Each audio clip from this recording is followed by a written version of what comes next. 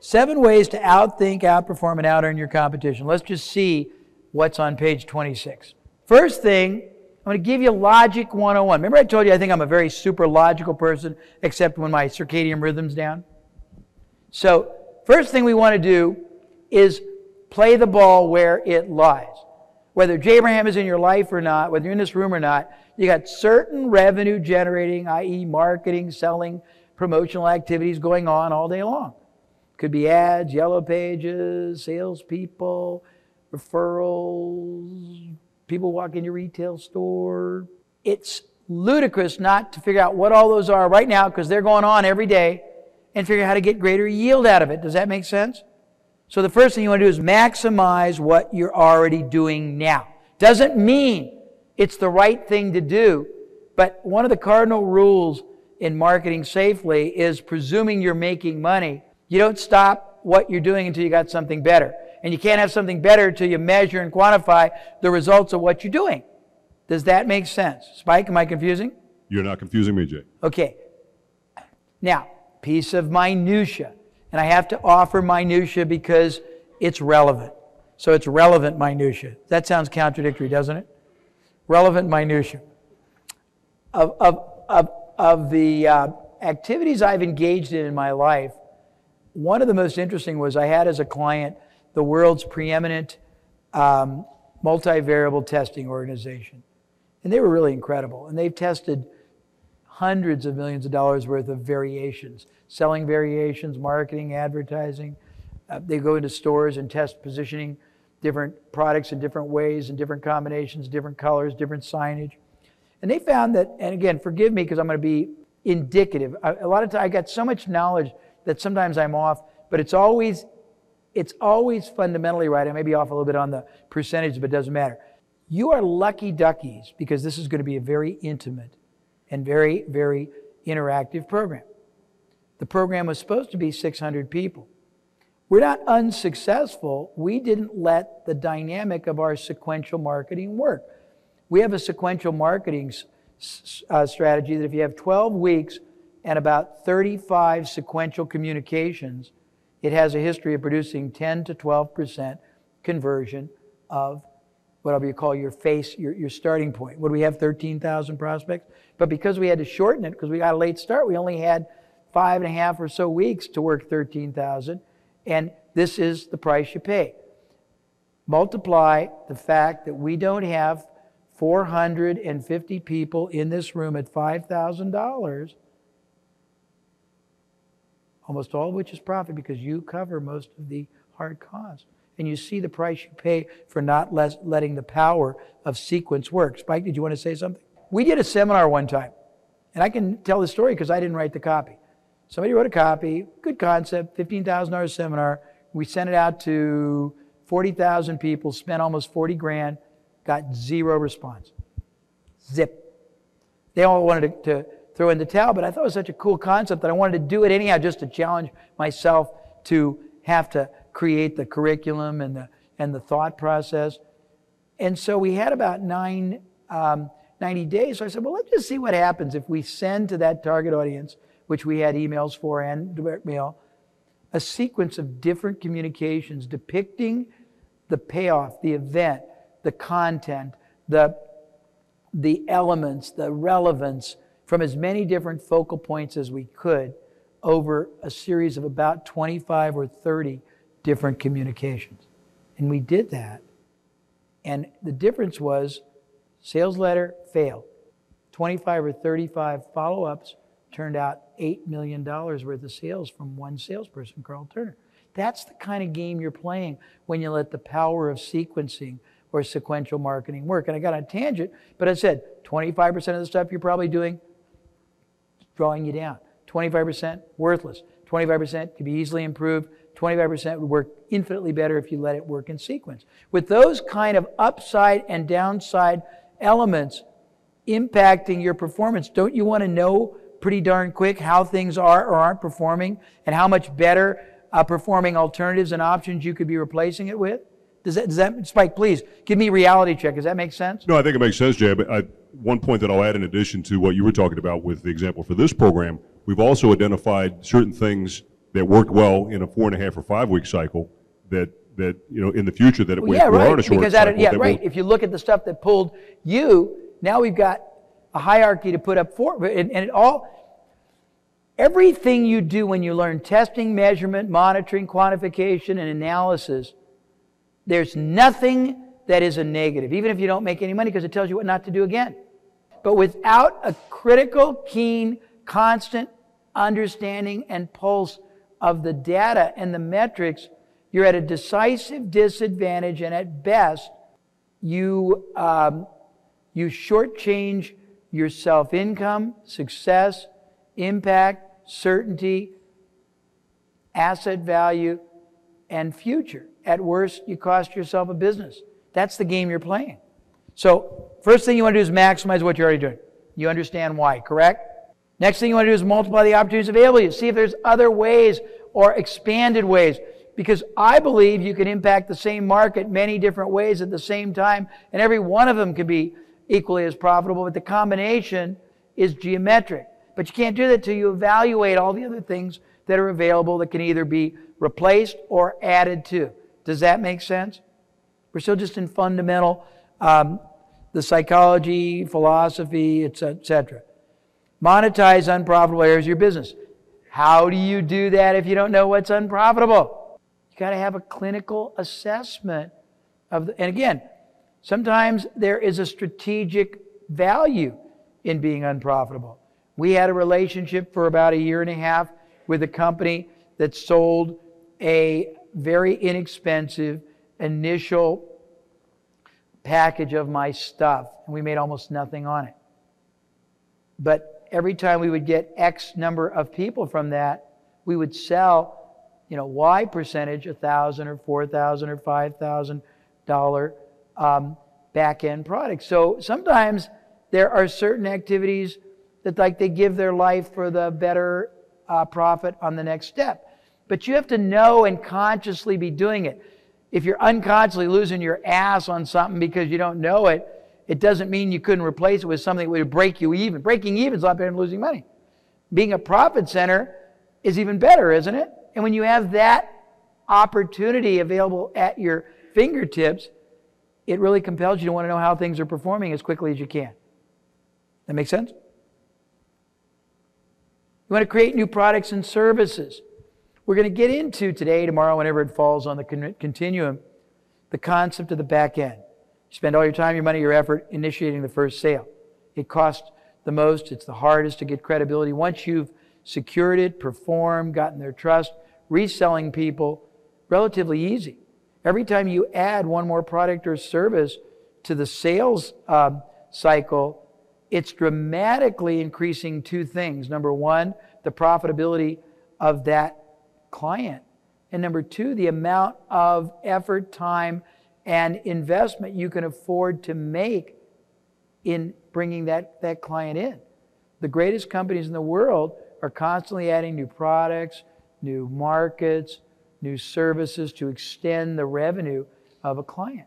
And if they don't have the wherewithal to do it themselves, they're doing strategic alliances, which we will get into today or tomorrow, whenever it falls, to teach you how to get other people to do all that for you and get control of their products, their services. If you're in businesses that are regulated and you can't do things because they're unethical, there are ways to do things reciprocally.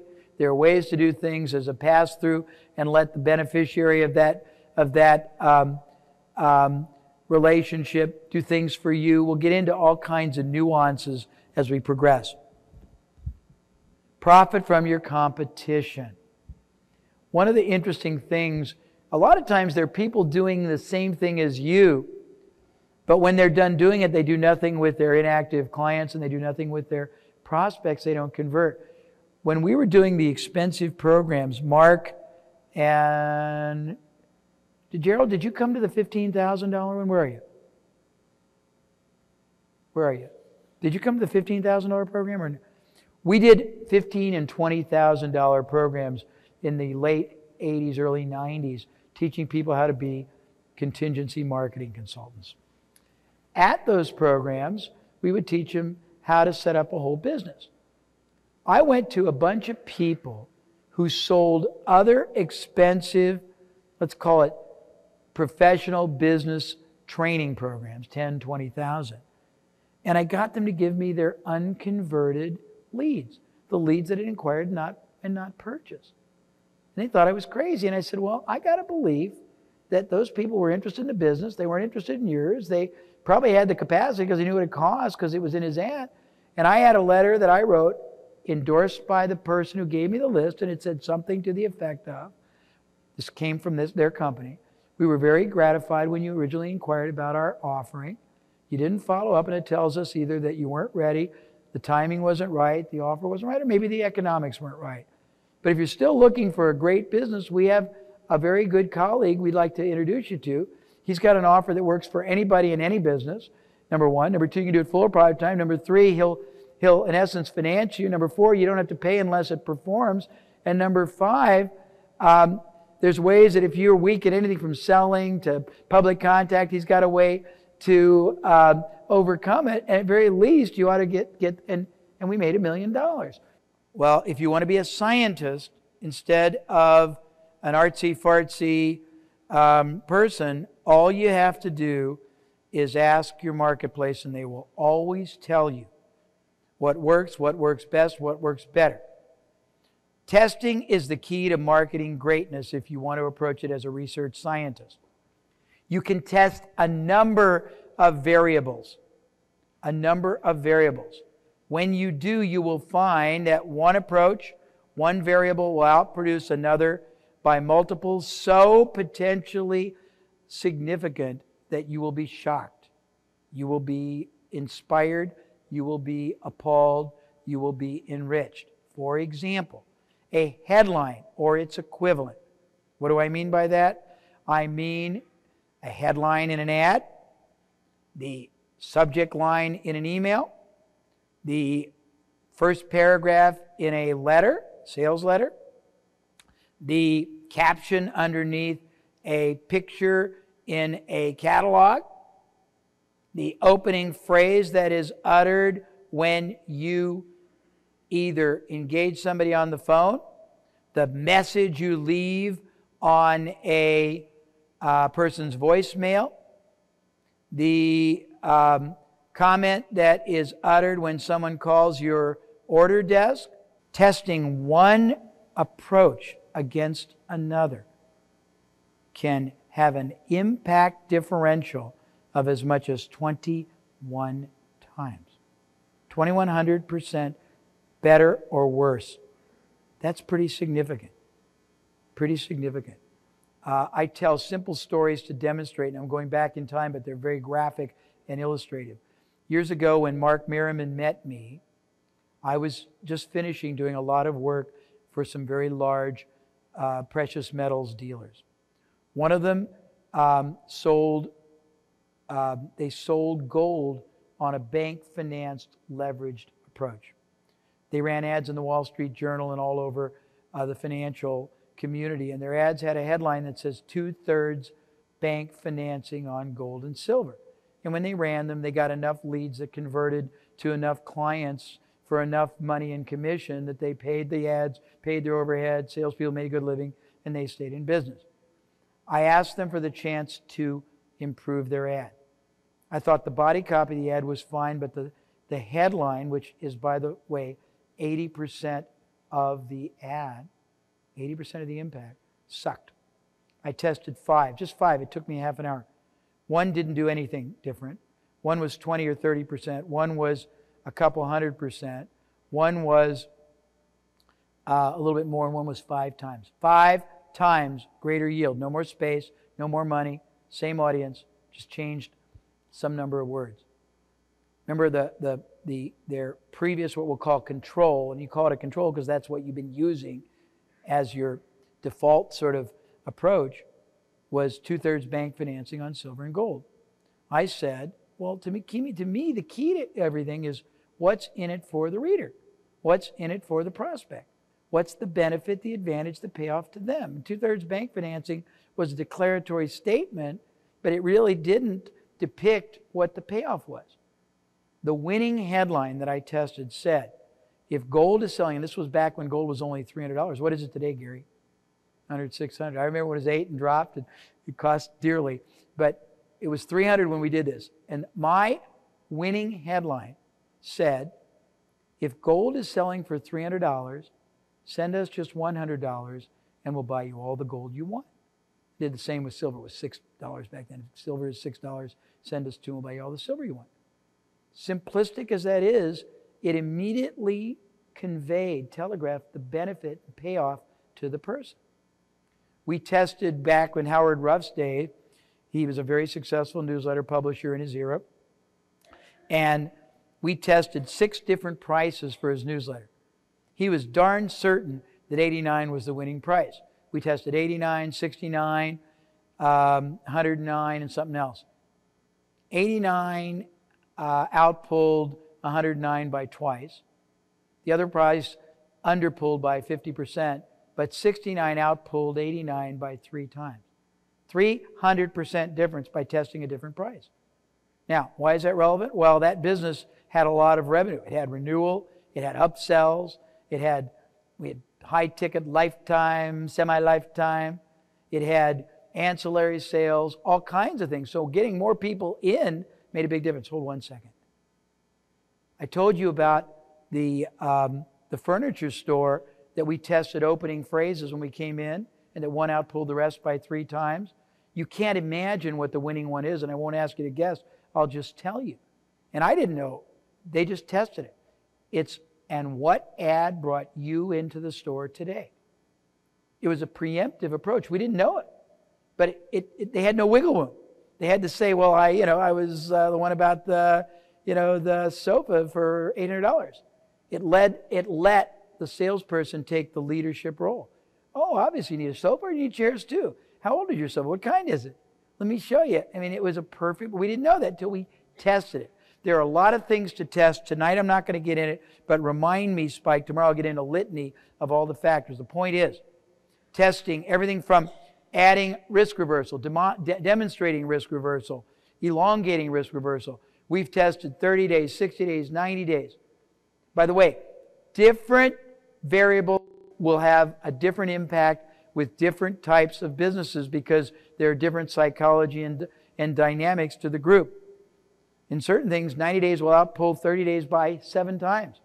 In certain ones, it actually can underpull. Testing sets you free, but you will find that there are approximately 8 to 30 impact factors you can test. If you improve each one 10 or 15%, the combination is hundreds or thousands of percent increase to your revenue and bottom line. Now, don't have time today, but testing is the first mistake. Corollary, test all your marketing and every, every process therein. Running institutional advertising. Institutional advertising are ads that are declaratory and don't ask for a response direct response advertising, make people solicit you. If people solicit you, they are many times more probable to become buyers than when you cold call solicit them. By making offerings of information, of consultations, of free trials, of, of surveys, of self diagnostic um, um, um, um analysis of anything that will get them engaged to raise their hand because they are interested in a specific subject, you turn a prospect into a predator, don't you? And it's a pretty interesting concept. Instantaneously. Corollary, only run direct response advertising. Not articulating and differentiating your product. When I used to, when I got started, and again, I've gotten older and probably more complacent myself, but when I was really, you know, full of piss and vinegar, and, and I was a young Turk, and I was, uh, excuse me, and I was uh, really ecstatic myself with all my newly articulated principles. I used to be very intuitive. I never codified anything. And when I first codified it, I'd go to cocktail parties with all these entrepreneurs and I'd ask them, you know, tell me why, why do people do business with you instead of your competitors. And people would look at me, and most didn't have answers, but the ones that did would very abstractly say, service, dependability, quality. And I'd say, well, that doesn't mean squat to somebody. Denominate, what's it mean? What's it mean in real terms that are relevant to your, your, your client? Most people have never thought about it. If you can't denominate and quickly articulate what it is that is more special, more appealing, more, more valued, more uh, beneficial about you than your competitor, about your product than your competitors, you're just darn lucky if you do any business. So we'll work on this tomorrow. There's an exercise we'll go through, but you need to have a unique selling proposition. And since I've come up with the strategy preeminence, I don't know if it's in your worksheets or it's uh, an addition I'll have to add, but you want to see yourself as the only viable solution to a problem or an opportunity that you alone see with enough clarity that you can verbalize. And I'll get into this tomorrow, but it's a key concept. Not having a back end product or service. You work so hard to initiate the first transaction. For the same amount of effort, a little bit more strategic shift, you can turn a one shot sale into a perpetual one. You can turn an enormous investment of time, opportunity, cost, and effort into a residual income for life. And it's an attitude. And if you don't have product or services that are logical um, line product or, or client extensions, you can acquire access to them at very advantageous rates. Tomorrow we're going to do hours and hours on strategic alliances, joint ventures, and endorsements, so don't worry about it. But the key is you always need a back end. The back end uh, can make what you do now just a front end or a lead generator. It's, think about it. What if what you do now, that your whole livelihood or some part of it, I have like the, the, um, the, um, the um, surgeon, you're not just plastic, but you, what are you? Ocular? Well, I've had plastic surgeons that do Botox just as a lead generator to get people to come four times a year. They don't care if they don't make a dime. They want a vehicle that gets people to come, come back, bring their, their friends, tell their friends, because in the course of the visitations, over a lifetime, the statistical probability of somebody needing their eyes, their nose, their, their chin, their jowl, their neck, and other, other parts of their anatomical being improved are very high. But it's a strategy too. Not understanding your clients, their needs, and their desires. Remember, I talked about the you attitude? The concept of value. You know, it's funny. I'll tell you a simpler concept. Years ago, uh, Gary North, when I was doing investment rarities, a guy we both know, Michael Babeck, remember him? Came to me uh, for investment rarities, a big gold company, and said, I can get you articles in the Wall Street Journal. I can get you articles in Forbes. I can get you articles in every basic business publication. And I said, you know, if you take the time to realize what was relevant to us, we'd rather have articles in every major financial newsletter because that's our market. And he didn't really try to understand what was relevant to us. The concept of value, of advantage, of benefit, of, of service. It's a relevant, or excuse me, a relative term that is defined only by your client. What you think is relevant may not be to them. Got it? And get in their head. It's not about you, it's about them. There's a concept called the you attitude I talked about earlier. It's all about not you, the seller, but you, the client.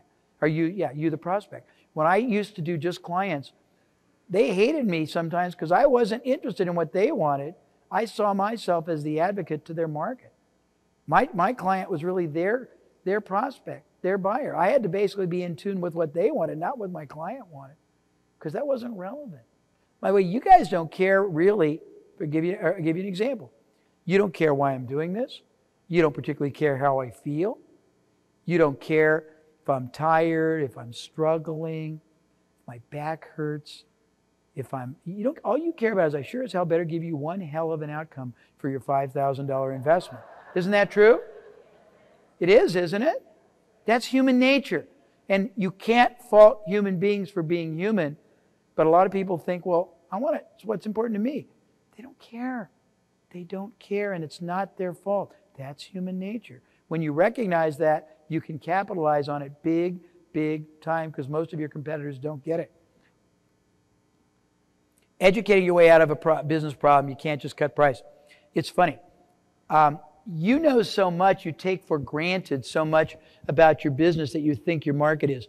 Uh, and Gary North and I go back. I mean, I feel not, we're not old farts, but we have a lot of we have a lot of um, rich history in the financial marketplaces, don't we? If we only had back what we have um, indulged in the fantasies of our mind. But uh, make a long story short, back in the, I think it was 78, 79, when interest rates were so high and hard assets were so um, um, you know, really uh, in vogue. I had a client that, besides selling gold and silver, sold investment grade precious gems, rubies, sapphires, emeralds. I'm talking about gorgeous stuff. I'm talking about big stuff. I'm talking about five carat, you know, just, I don't remember the GIA classification, but I'm talking about stuff you almost wouldn't set in stones. They were that, in, in, in jewelry. And we did like $60 million, Gary, in one year. And then the market changed and it just died. And we were sitting with about $20 million at cost in our safe and nobody wanted it. And my client was trying to sell it and he wanted me to help him. I said, sure, give me a percentage. And I wanted a generous percentage of the sales. And he refused and he tried, you know who my client was, and he tried it himself and it didn't work. And I said, okay, you want me to do it? And he did. And I educated. I wrote a letter. I was very proud of this. The letter told the truth, first of all. Educating, truth set you free. I told people that, that investment grade gems were hotter than hot and they made good sense before the market changed. But now the market was slower. We were the big player. We invested massively in world class inventory that was sitting, gathering dust in our safe, and we had two choices sell it off to some, um, some cutthroat wholesaler who would give us a terrible price or give the same price to our clients. And I said, just so you're clear, we'll sell it to you for less than we paid for it. You couldn't buy these for twice as much, and you probably couldn't get these gradations if you went to the jeweler yourself. And in fact, I refused, I as I put the name of the owner, I refused to even sell it to you until and unless you call. We gave everybody the whole list of stones, all the gemological gradations on it. I said, call any reputable dealer you know, retailer, jeweler, give them these gradations, ask them to quote you on this stone. If their quote isn't 40 to 100% more, don't even buy it. After you buy it, we won't consider your purchase binding on your part till you've actually taken it to the jeweler yourself and gotten them to appraise it. If it isn't dramatically higher, send it back. And we sold out everything we had except the irradiated blue topaz, which frankly had not very much value anyhow. We sold every ruby, every sapphire, every emerald instantly. It was that compelling. We did a program, it's a different demonstration. When I did the uh, program that, did you come to the very first protege program, Mark? If it's the one I'm thinking, I, I have this very bad habit. At the 11th hour, I think, what's wrong with this picture? And I always add stuff. And I have no time to add it, and it always exacerbates the problem. But if it's the one you were at, at the very last minute, I thought it needed some more advertising content. And I had done a session with Gary Halbert. Did you do, did I do the video one with him when you were there? Well, I had no time because I had 86 hours filled, if you can believe this. And I had no time for um, this session, but I'd paid about 10 grand to videotape him before doing a two hour session, which was very good.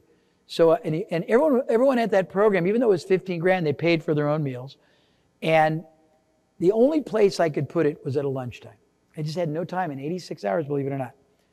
And so back then, I had to, first of all, rent big, big TVs and video players, and the hotels call, charge us like eight or 10 grand. I had to feed three or 400 people, which cost me about five grand. I then decided that it was so important I should make a, a video VHS for everybody. That cost me back then another four grand. So I do all this, and then we, we play it. And on the video that was taken from another event that Gary Halbert had done for us, he gave everybody a book. And it was on there, you're going to get this book. And everybody was angry with me because I didn't have the book. And so I, I, I very calmly explained all the things I'd done for them, what it cost me, the process I'd gone through, the imposition that it made to me, the fact that they would have been happy with the speaker I had alone because it was profound compared to their relatively ignorant sense of bliss, but that I thought they needed more. And by the time they were done, they were all basically apologizing. But education is the key to almost everything storytelling and education. You got to be able to tell great stories. I'm not talking about untruth. I mean romancing the process and being able to educate people because people can't appreciate what you've done for somebody or what something will do for them. It's not their obligation, it's your responsibility. Okay, thank you. Now, what do you think happens if you identify 40 cool things you could do in the macro and you start doing the easiest, fastest, safest, least time cost or or energy requiring ones first and then the second one second and when they work you make them systematic. You think maybe in a year you're going to be in pretty good stead. Could be pretty cool couldn't it? And even if you aren't you know a trillionaire or a gajillionaire you're probably going to be well ahead of where you are now and i can guarantee you're going to have more control of your destiny and your and your uh, you know and your your what we call your destiny path than you do right now.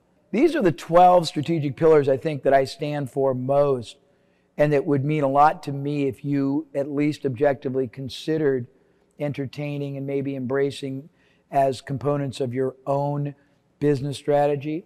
Not necessarily in order, but if you said, my goal is to continuously identify and discover hidden assets and overlooked opportunities in my business, and every, every day you made that like a mantra you know, what continue, what, what, what hidden assets, what overlooked opportunities am I missing in this situation or today or in this ad or in this activities? It's a pretty good starting point. Yeah. When you get back or when you go through the book, which I'm going to have you do before you break for dinner, make a list of all the cash windfalls that you haven't taken advantage of right now that you could go back and instantly harvest.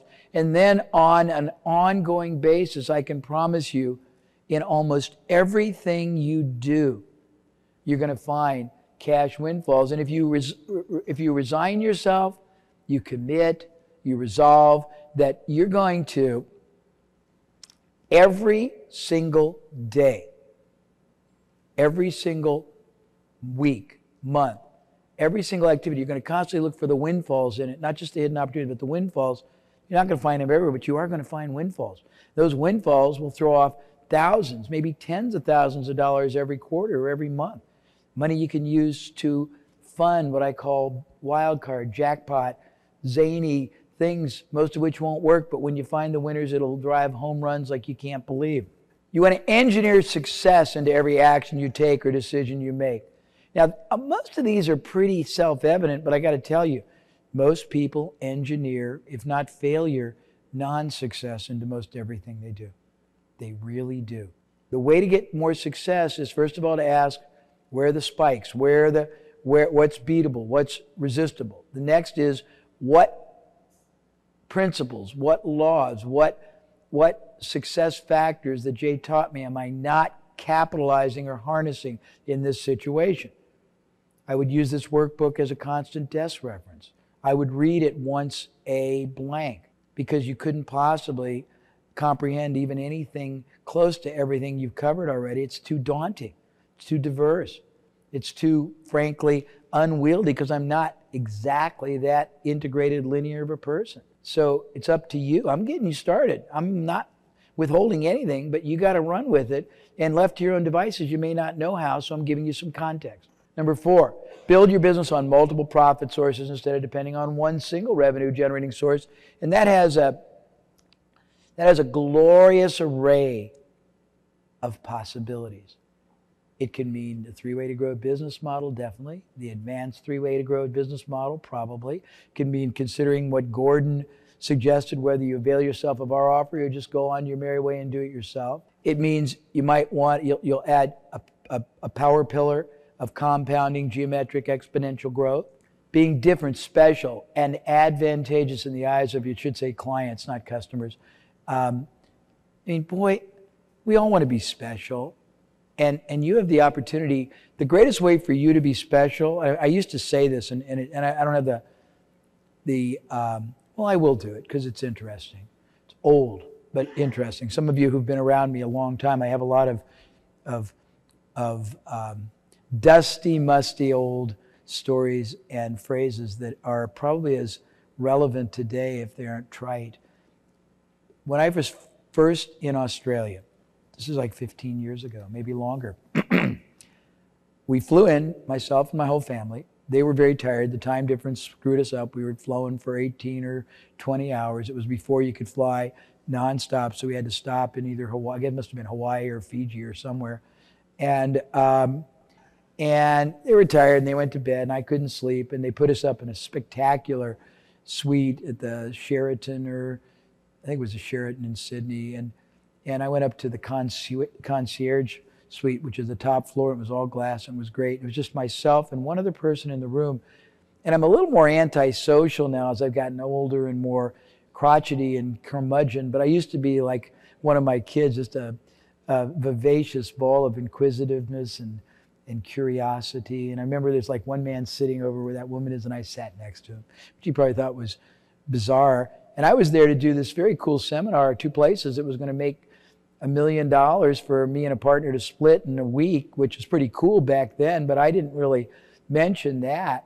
What I said was, the guy, I, the, I said, my name's Jay Abraham, I'm from uh, Los Angeles, I'm here in business. And for the next 90 minutes, I asked the man a barrage, a barrage of of questions because I was curious. And I found out the man was from Germany. He worked for uh, Schering Corporation, which was a big pharmaceutical chemical company. He traveled the world over calling on third world health uh, ministers selling population control uh, programs I was curious what a population control program was, so I asked him to explain, first of all, what they were, how they worked, how in the world you sell a country on doing it, then how you sell the populace on wanting it done. And, you know, how, how as a salesman, whether it was a legitimate sale or an under the table sale and influences, um, I asked him, you know, I said, you must have an extraordinary Rolodex. He was there for a, a very high security meeting of all these third world health ministers, uh, turned out in the same hotel I was at. After I asked him a barrage of very interesting questions about how you get an appointment, how you make a sales call, how, you know, what the sales cycle was, who the influences were, you know, the above and below the surface compensation you had to pay out, the, the effectiveness, how they were um, implemented and disseminated, I switched and started asking him about life in Germany and about families and values and values, meaning moral values, ethical values, housing values, lifestyle, and all kinds of things. I did this for about 90 minutes. And keep in mind, I'd just flown in, hadn't slept, and all of a sudden I've been drinking double Courvoisiers. I, I, don't do that anymore, but I had a lot of them. After about an hour and a half of that, I got tipsy and I, I knew I'd fall into his lap if I didn't excuse myself and leave. So I stood up and I thanked him and I started to walk away. And he stopped me. This is a guy that knew everyone in the world who was worth knowing. He said, I got to tell you something. Swear to God, this is true. And it's being made as a clinical point, not. Um, not uh, a, uh, an egotistical one. He said, You are absolutely the most interesting man I've met in five years. And I was pretty um, mentally uh, disoriented by that time. But I remember staggering to the elevator, leaning on it, hoping when the door opened that there was, in fact, an elevator there and not a shaft because I wasn't standing real erect. But I remember thinking, that there was a profound lesson here, and I was too inebriated to discern it. But when I woke up the next day, um, to my great delight, I had clarity, and I realized if you want to be the most interesting person in the world, all you have to do is be interested. You want to be the most loving person, all you have to do really is love. You want to make people, you want people to see you as being special. That's why I got on this tangent. All you have to do is make them very special and acknowledged in your eyes, and it's the polar opposite. And that's just a piece of very powerful, simplistic, but infallible um, advice that you could all benefit from knowing. So, for whatever it's worth. Number six, creating real value for your clients and employees for maximum loyalty and results. And I would amend it and say, and knowing what real value defines and means to them, not you. To them, not you gaining the max seven, the maximum personal leverage from every action, investment, time, energy commitment you ever make. There is so much more upside leverage. Remember that story I told about you're not you're not worthy or the or the activity is not worthy of you? At this point in your progress with me, most of the activities you're engaged in aren't worthy of you. you can do more with the time. You can do more with the effort. You can do more with the opportunity. You can do more with the market. You can do more with the capital. And, and failure to do that is a disservice to all the people in the marketplace whose lives or businesses you could enhance and enrich. Eight, networking, masterminding, brainstorming with like minded, success driven people who share real life experience and shortcuts with. We're going to have conference calls, but I'm going to let you in on a pathetic secret. I have done group conference call file. I'm the only insane person that does it that I know, aren't I, Spike? That does it without trying to hustle anything on the conference calls as a collaborative deal and not charge for it and adds it to every program. We've done programs with a thousand people. Thousand people are entitled to be on the on the conference calls. They can go back, they can review their material, they can try things, they can have trouble, they can ask for correction, for clarification, for advice. If they're struggling and they're par- paralyzed with uncertainty or fear or trepidation, they can ask me for help to get through it. If they can't figure out how to manage their time, they can ask me. And what happens, Spike? If a thousand people are entitled to this call, which frankly are worth like seven, eight grand a, a month, maybe 200 will be on the first call. With you guys, if there's 125 in the room, maybe 60 will be on the first call. That's impressive. 25 will be on the third call. 10 will be on the fourth call. And the same people will say, God, I really want my business to grow. I really want to make more money. I really want to do more things. But it's all about actions. It's all about how well you take advantage ethically of the opportunities. Jay, would you share the correlation of the people who stay on the calls and their rate of success versus the people who drop off? Um, Because do, do I really direct- need to? Well, well, there's a direct correlation. Yeah, it's, it's, it's, it's, it's self-explanatory. The guys who really get it, it's hilarious. There's like three people at the end out of the thousand, and those guys are in hog heaven. They, they're asking me a million questions. They're getting fifteen thousand dollars worth of free advice every um, every call. They're they're they're they're laying themselves out because there's no.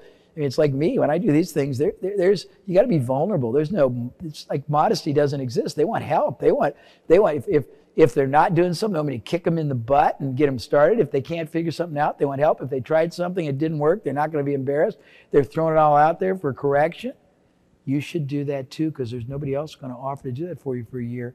And what happens is now, I've done it enough times that I used to beg, plead, cajole. Now, if, if, if nobody, I'll get on a call. If nobody says anything, I say, okay, bye. Not my problem. I already know it. I'm there for you, but only if you want to take advantage. I'm not doing it for you. It's as a collaborative process. This is the beginning. This is not the end. This is the preparation. The real, you know, the real deal is what you do when you go home. Wait one second, I'll get you a mic.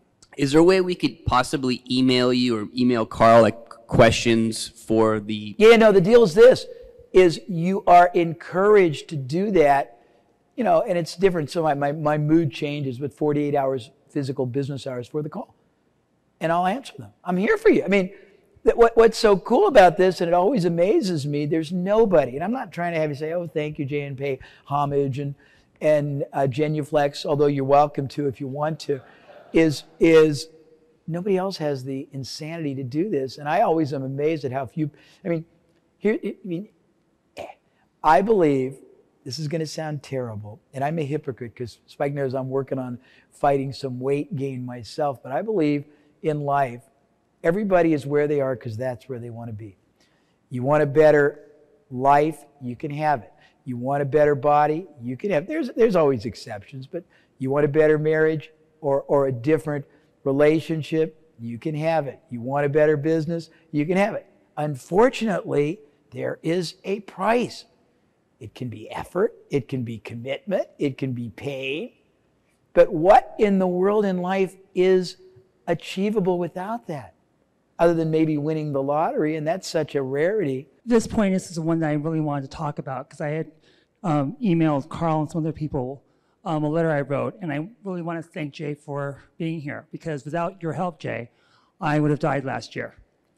Um, by using a compelling headline, um, a joint venture, uh, direct mail, I walked out of a hospice last year. Really? Yes, sir.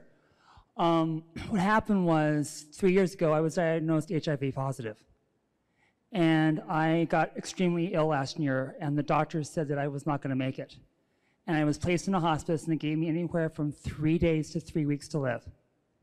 So using my networking skills, I made a phone call into my my diamond uh, networking circle, and I and the person who I called was the head recruiter for uh, Korn Ferry International, and I said, "Well, Michael, I'm going to be the, the the sentence they've told me was I'm going to be dead be- between three days to three weeks." He said, "Hold on, Henry, I'm there in uh, 15 minutes." He and his wife drove to my bedside and said, "Whatever you want, we're there for you."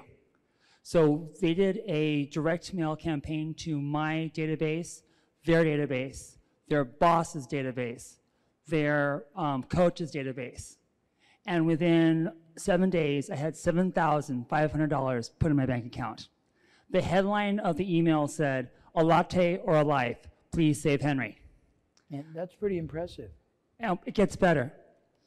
Um, I networked and convinced the um, hospital administrator to really help me. So I got put into the most expensive, um, what was it? The most expensive nursing home in the Bronx, in the Jewish section, where the top floor was a hospice. My room was the size of a New York one bedroom apartment that Medicare paid for.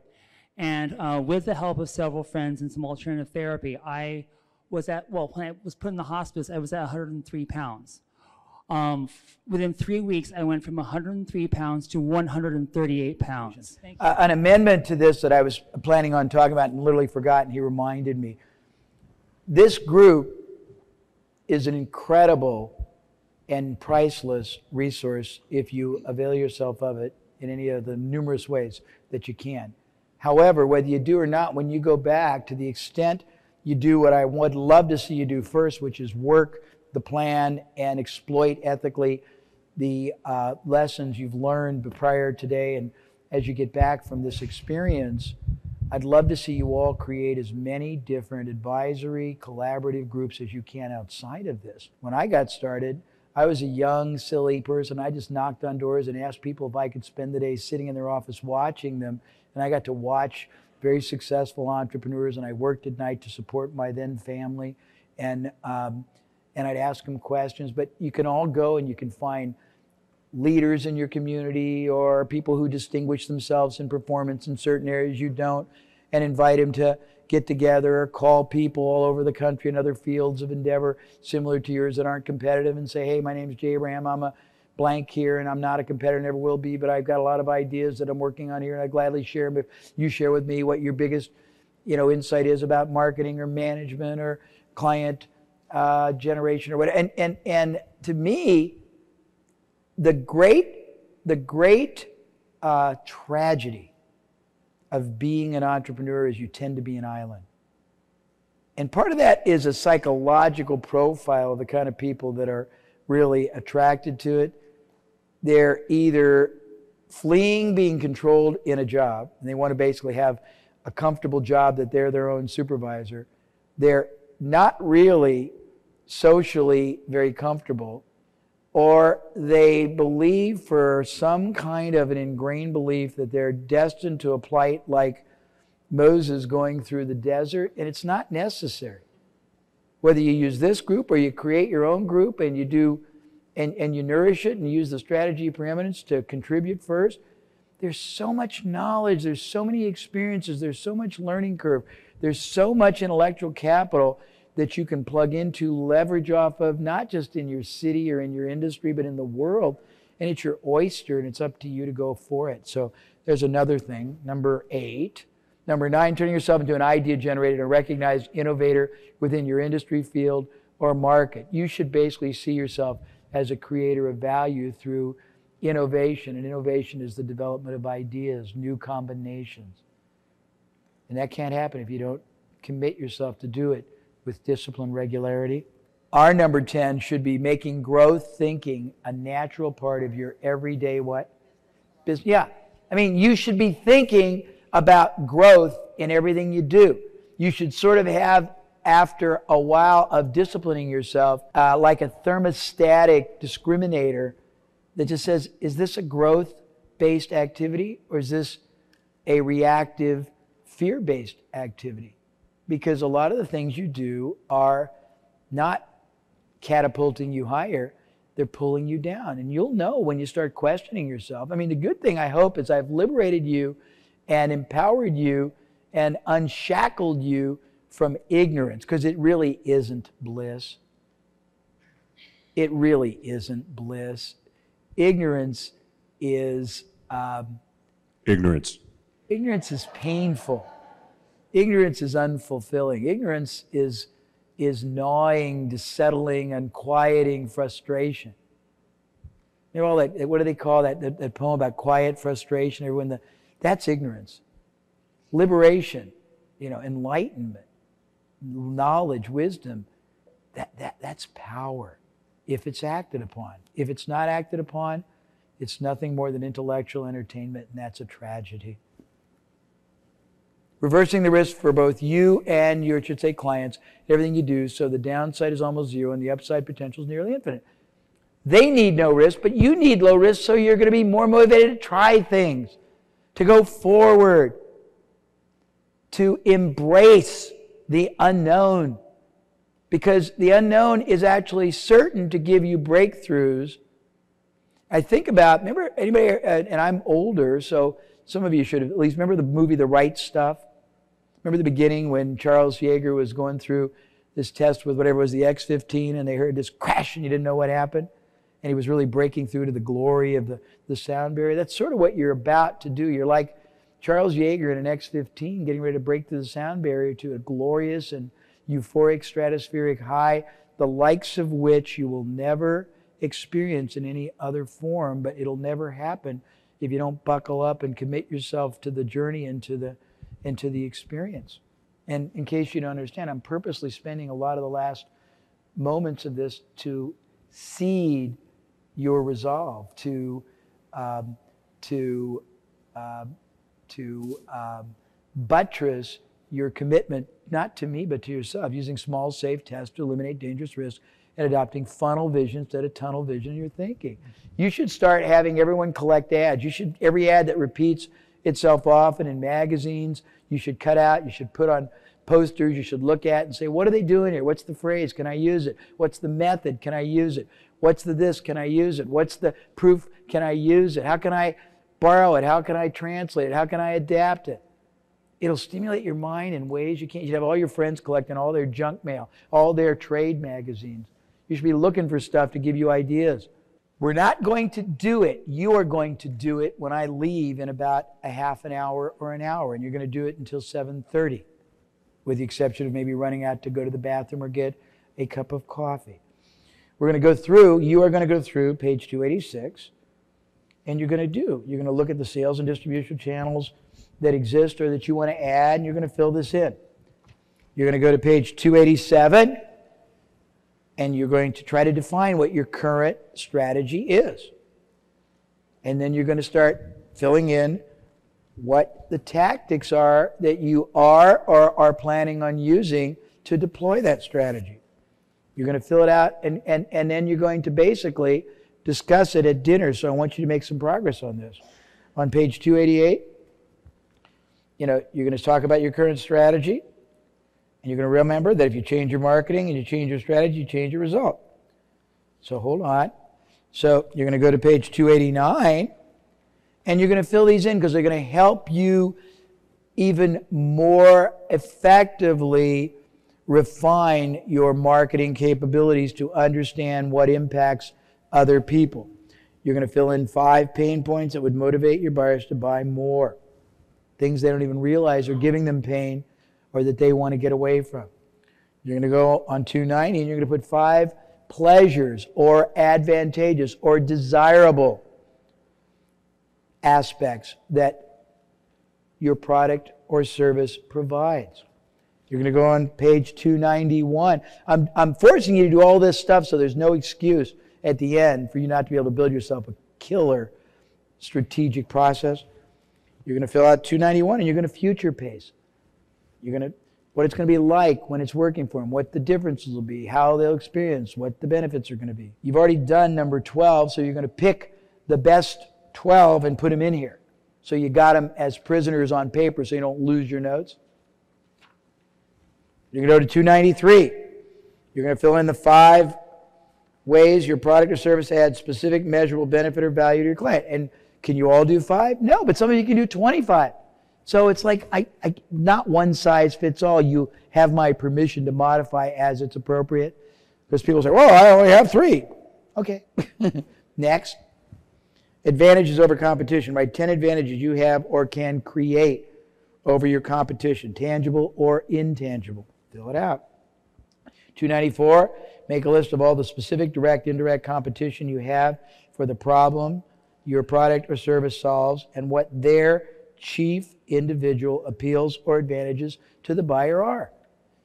Let's look at what they do that you don't, what they have over you, and not just in your product. There are alternative means of solving the problem or achieving the result that your product or service provides. What are they and what do they offer as a benefit that you don't to the end user? Now, tell the five things everyone should look for in products. I, I didn't talk about it earlier, but one person was reading. You want to set the buying criteria. You want to be the one as the most trusted advisor that establishes the buying criteria that everybody wants to adhere to. And that criteria should ultimately be one that you and only you and your product or service can fulfill and satisfy. But you want to start building what that criteria is. You want to then have five metaphors or similes that analogize or illustrate what else having your product or service in their lives is like. Remember, I told you metaphors, similes are the most powerful way to make a point you know, to the human mind. 295, it says elevator pitch. If you're writing up and down 10 stories and you had a minute to tell somebody what you were in a benefit based USP, what would it be? Then reduce it down to your USP. Page 296. Uh, new master strategy. You're going to keep evolving your master strategy. Some of this is redundant. Then page 298. Then you start building the tactics that you're going to be doing. In different ways can I effectively continuously communicate with my clients? List all the communications you can do, what they will be composed of, and who in your organization, if it's not you, you're going to assign it at. And if you're going to assign it to yourself, how are you going to systematically reverse engineer getting it done with regularity? Remember, everyone in your Rolodex counts. Type of communication you're going to send, when, assigned to. Okay? That's 298. 299. You're going to go through all the tactics and you're going to then you're going to identify what they are and when you're going to do it. And again, this is a beginning. This is a model we created a couple of uh, like a year or so ago, and I've never quite refined it. But it's better than having nothing, don't you think? It's a good start. And you are welcome to take it to any level of heightened sophistication you want. And frankly, if you do a killer job, send it to me and I'll disseminate it to everybody because you'll help them. This is my attempt to force you to do something other than just make this workbook a paperweight. You go through each of these and you basically fill it out. You go through each of these, I'm on page 300 to fill it out. You go through each of these and fill it out. Go through each of these and fill it out. I'm going through 304, 306. They break down by the three way to grow business model. Page 308, the exacerbation, what will also serve as what we call a superior access vehicle. Something that by design gives you superior access to your prospects. What's going to give you the best possible direct, impactful access? It may be something you've already covered. It may be something that's a, an embodiment of that. Maybe nothing. Why and how have I been limiting or keeping people from buying from us? What is slowing down, hindering, or stopping sales? Slowing the buying, the buying um, um, process, a bigger, making, erecting a bigger hurdle.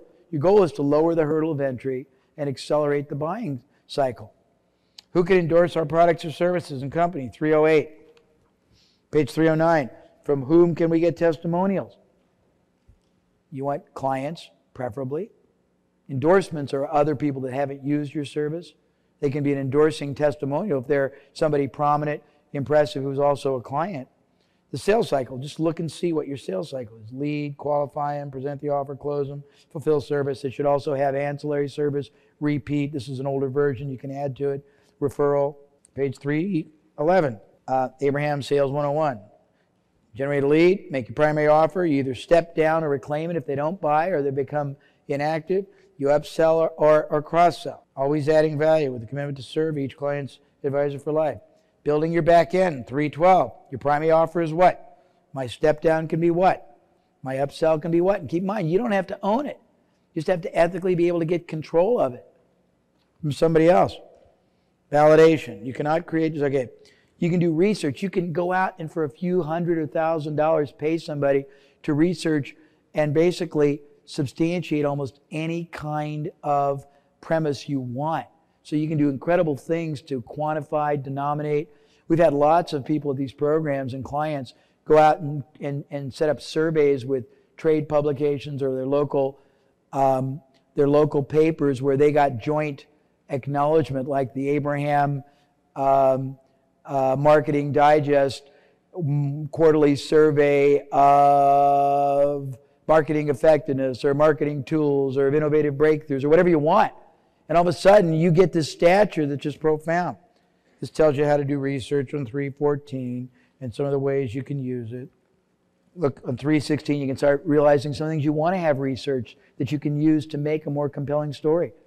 Because if nobody's got it and you're the first one to get it, you got preemption. It's, it's reducing what you're going to do and how many ways you're going to try it and what you're trying to get it to produce for you. It's at least starting to discipline you to be clear, and you're welcome to redo this any way you want.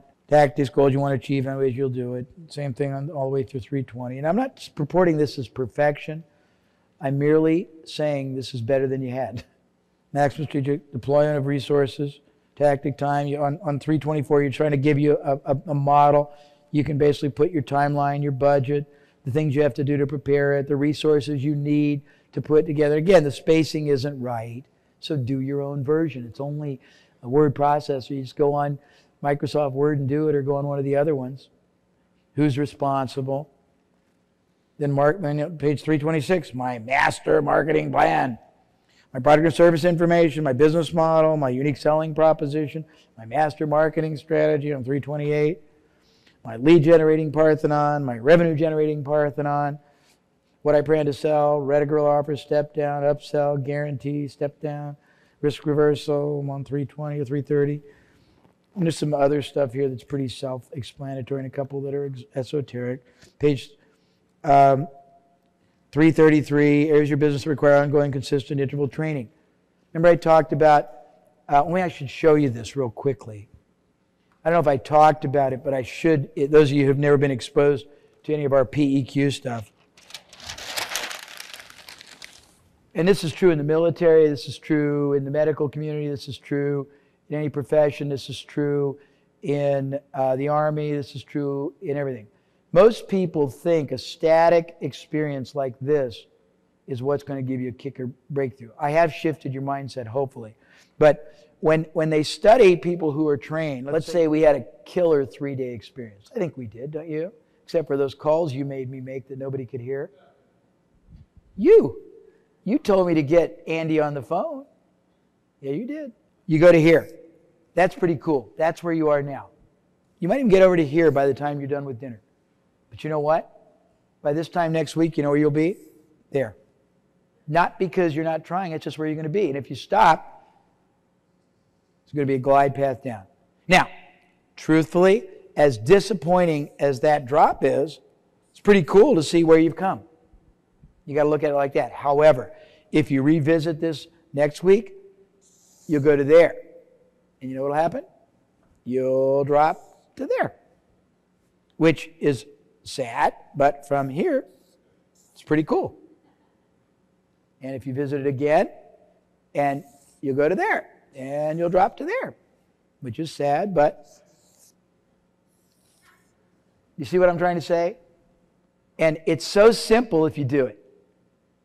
It's so simple if you do it. I told you my wife did that and went from a D tennis player to an A player in three or four years. It's taking you more than three or four years, most of you, to get to this point. So if you don't do it quickly, but you got to do it continuously. I've given you the keys to the kingdom, but the lock may seem rusty when you try to do it. You're not going to open it all with the first the first combination and you're not going to execute powerfully. Process training, not event training. It's not a static process. You got to do it continuously if you want the outcome. Big corporations will spend as much as 20% of their key team's time training them, retraining them, advanced training them, training them again. 20% of all their time every year. You think they do it because it's a waste? Or you think they do it because they've analyzed it from an ROI basis and the payoff exceeds the cost and the lost time? It really is the latter. So this is very important. I hope that made sense. You know, I was just going to make a point, Jay, that I think one of the ways that I keep that frame in my mind, and I've learned it from you, and that is anytime you're talking to someone or anytime you're thinking about what it is that you've done, it becomes a static state. You should be thinking about what it is that you're doing. Anytime you think about what it is that you've learned, that's a static state. It should be what you're learning. So, you know, as Jay mentioned when he started the, the program at the very, very beginning, you know, a lot of this is about a mindset and it's about training yourself to be looking at things through new eyes and doing things in a new way. And the most important thing that you can do when you walk out of this room is not look at what you've done, it's what you'll be doing in the future. It's not what you've learned in this program, it's what you're learning in the future as you go forward. This recording was created and produced by Chesney Communications of Irvine, California. Copyright Abraham Publishing 2006.